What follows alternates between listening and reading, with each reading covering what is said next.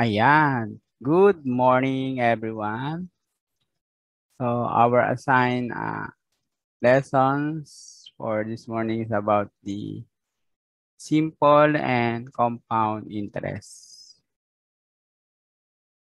Pero ang magiging focus natin ngayon ay ang simple interest.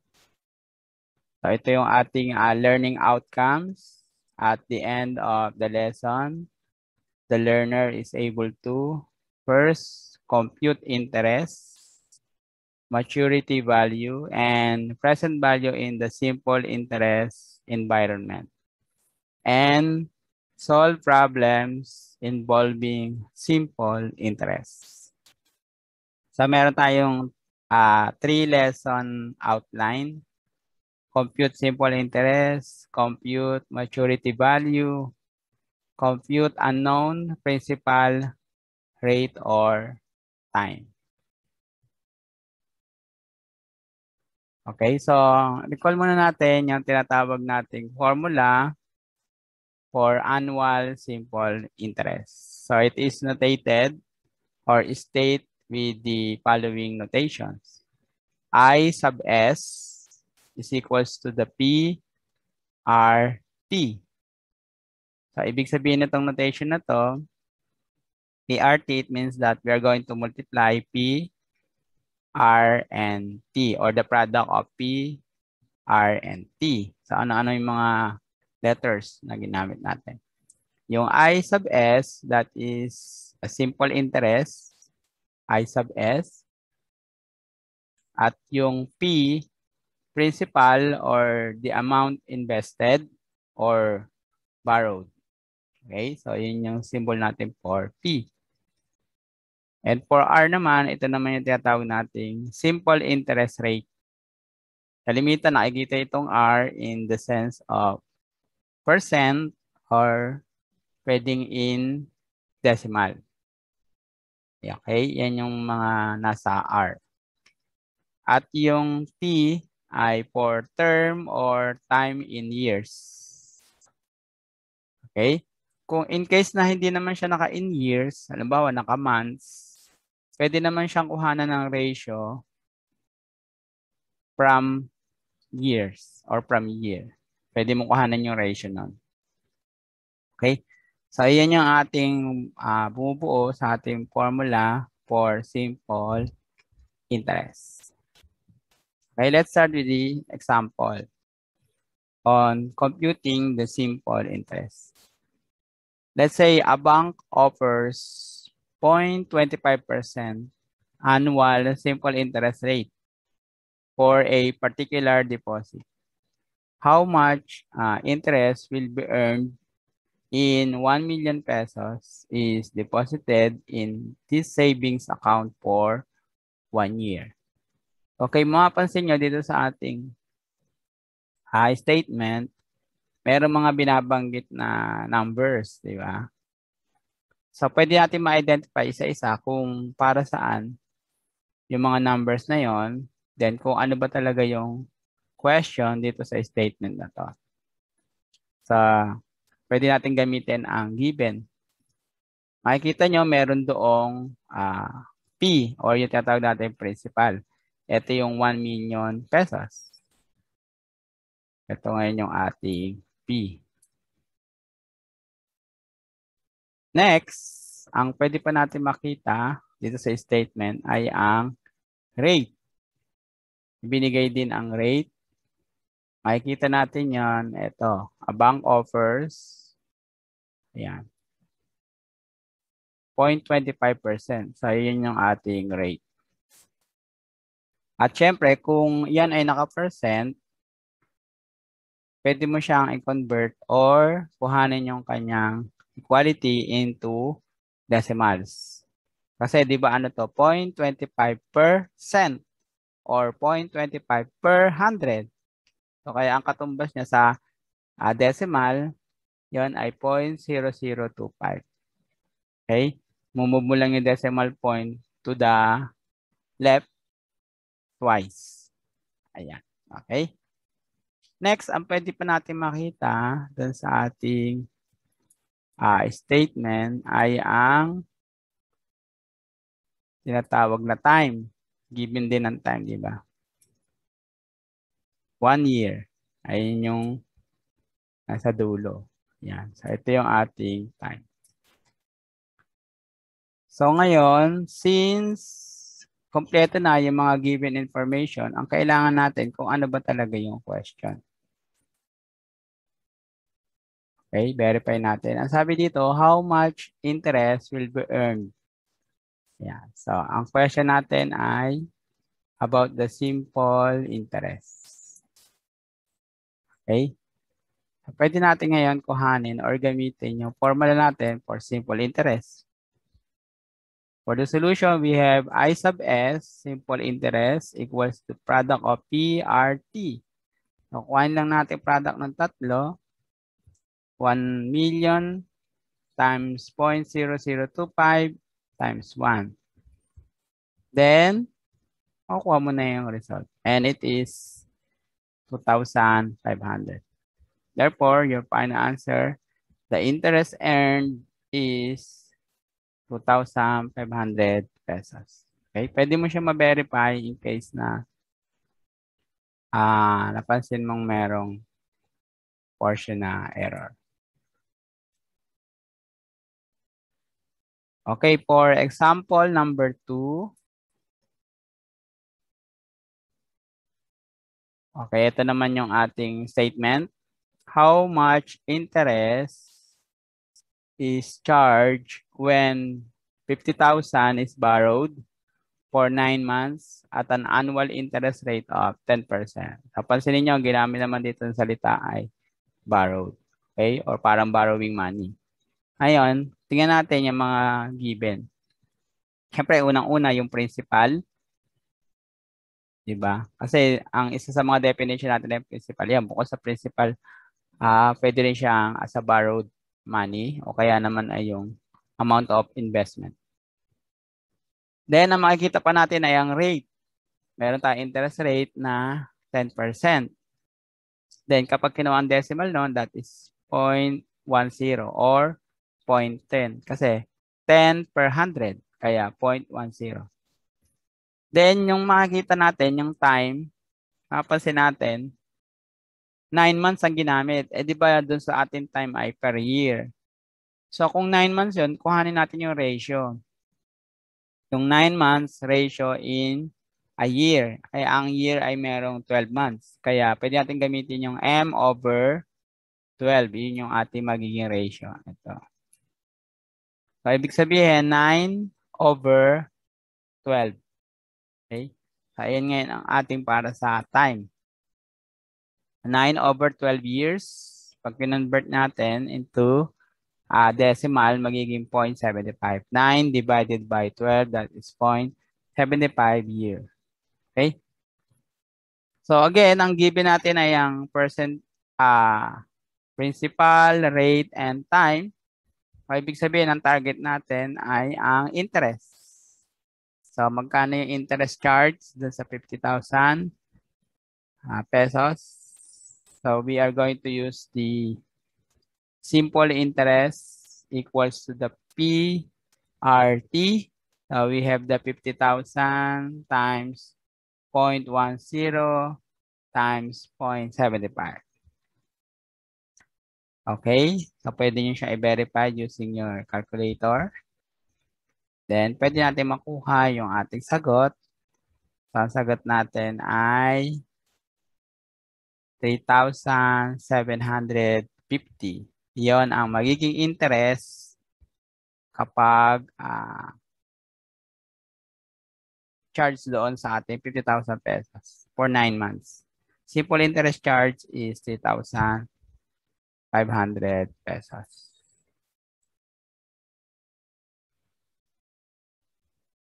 Okay, next example. Example 3. So, dito naman sa example 3, meron tayong uh, iba't complete the table. So, meron tayong table given. Then, dun sa bawat letter, ibig sabihin din yung kukumpute natin kung ano man yung letter na inaanap. Kagaya ng dito sa first table natin, principal per column rates or rate, uh, time, and interest. So given ang rate, given ang time, at given ang interest, ang target natin ay ang principal.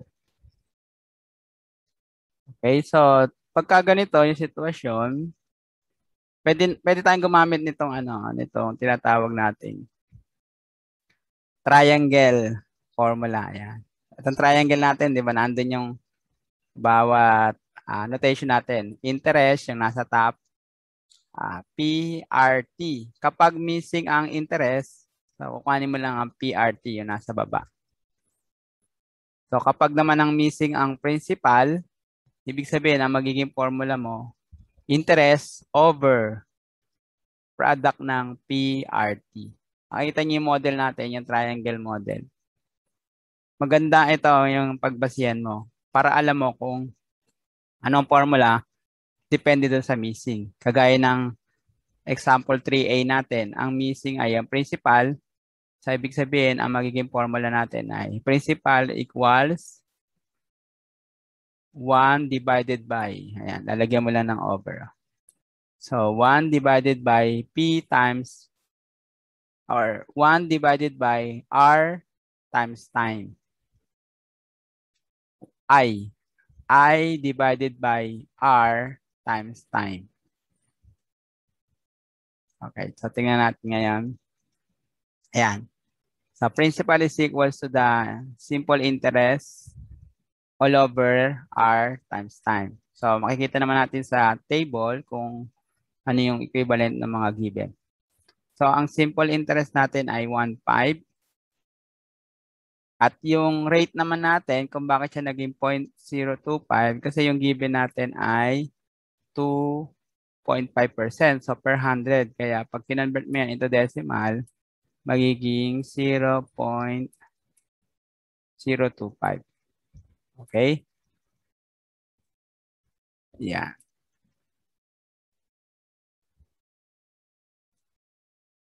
Then, yung ating time naman ay 4 years. So, consider na to as 4 years. No? Then, compute mo na. Simple computation na siya.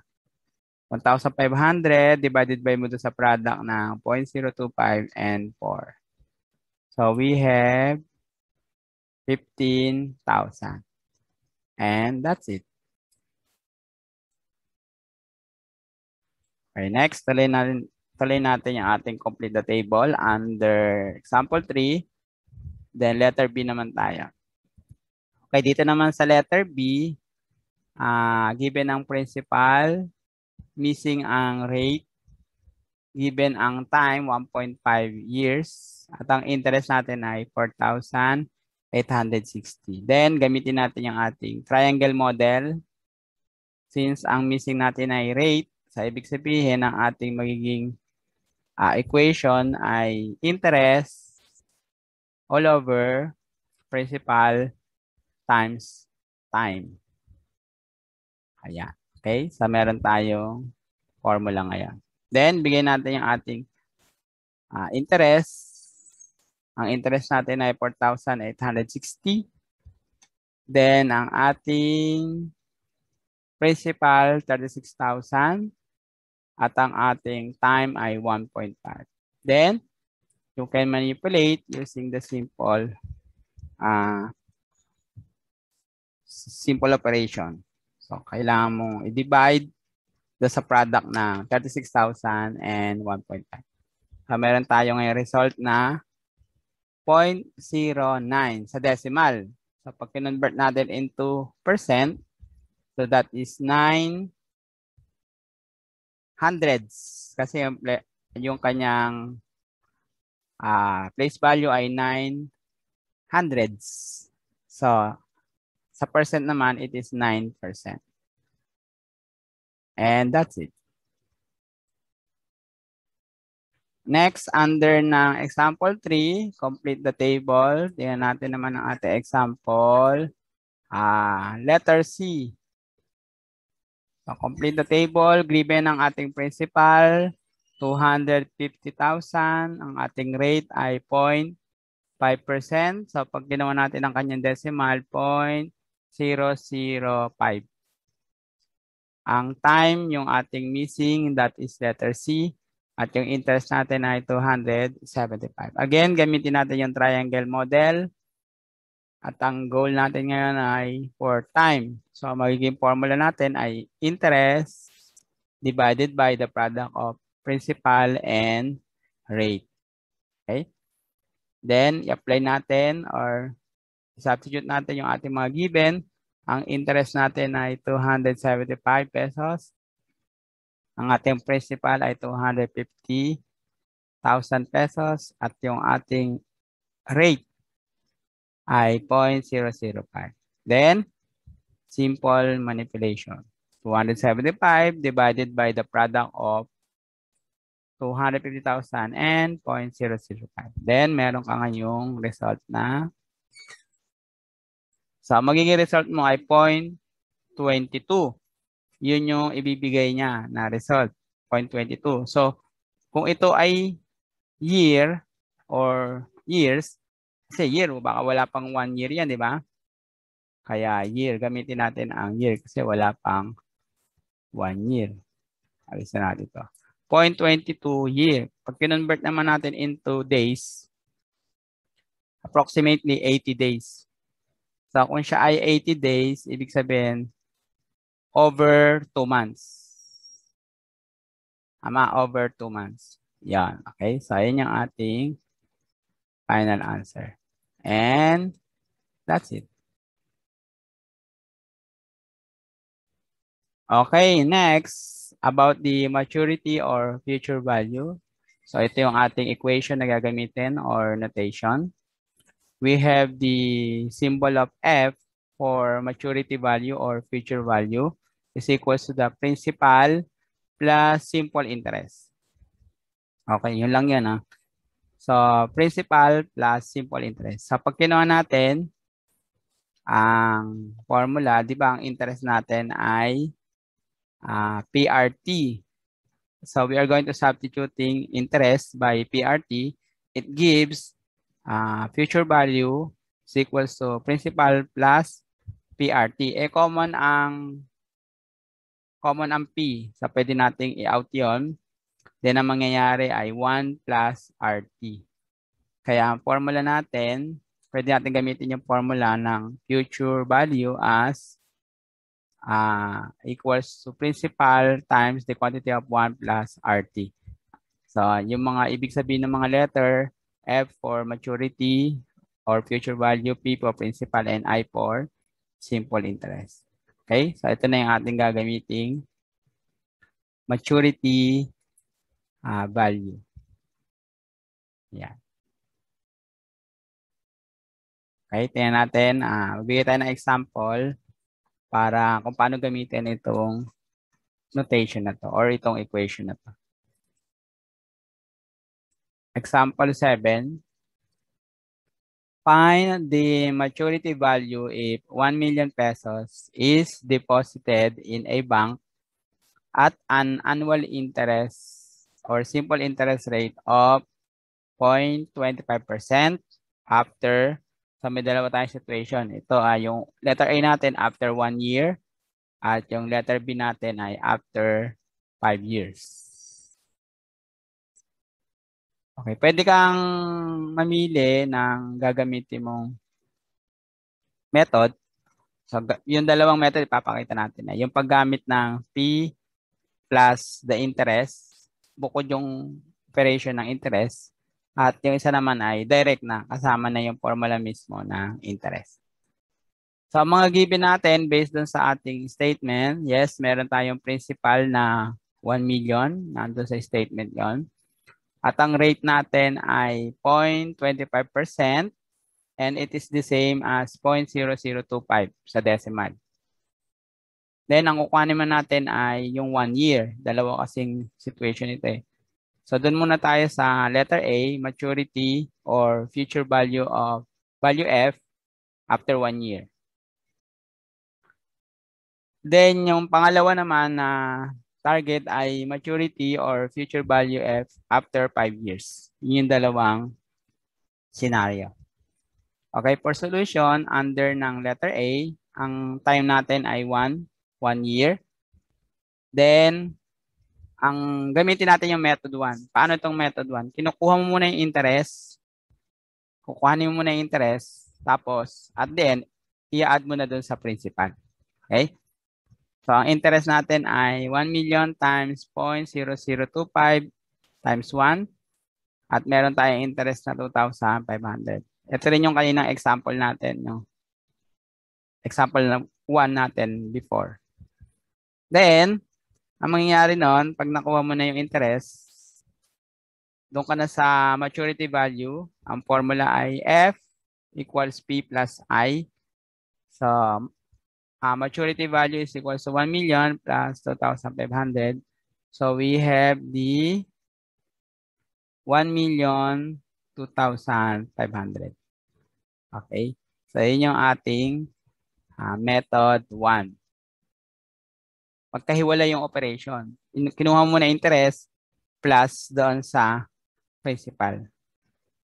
Hanggang makuha mo yung future value.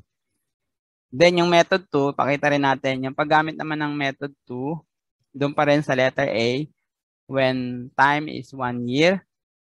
Ang method 2 naman ay directly solve the future value. Direct na, hindi mo na paghihiwalay yung principal at interest. So, ang formula natin ay future value equals principal times 1 plus rate times time. So, directly, so we have 1 million pesos times 1 plus 0.0025 times 1. Okay? Yung, yung 1 dito, ano na siya? Constant na yan. Ha? Constant. Okay? So, we have also the same value. The future value is 1 million 2,500. Parehas lang din ng result.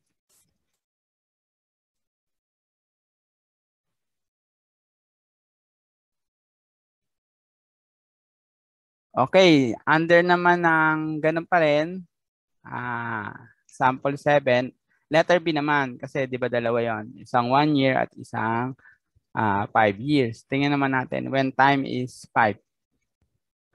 So, gamitin natin ulit yung method 1, yung hiwalay yung pagkuha ng interest plus uh, principal. So, ang interest natin ay 1 million times 0.0025 times uh, 5. So, yun yung ating time, 5 years. So, kapag kinuha mo yung product ng tatlo, meron kang interest na 12,500.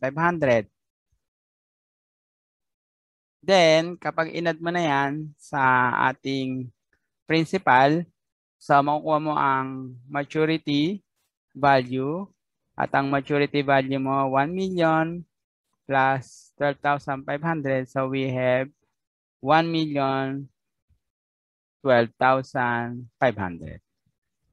And that's it. Ganun lang kasimple. So ang ginamit na lang natin ay uh, method 1. Okay? Anyway, parehas din naman sila ng result.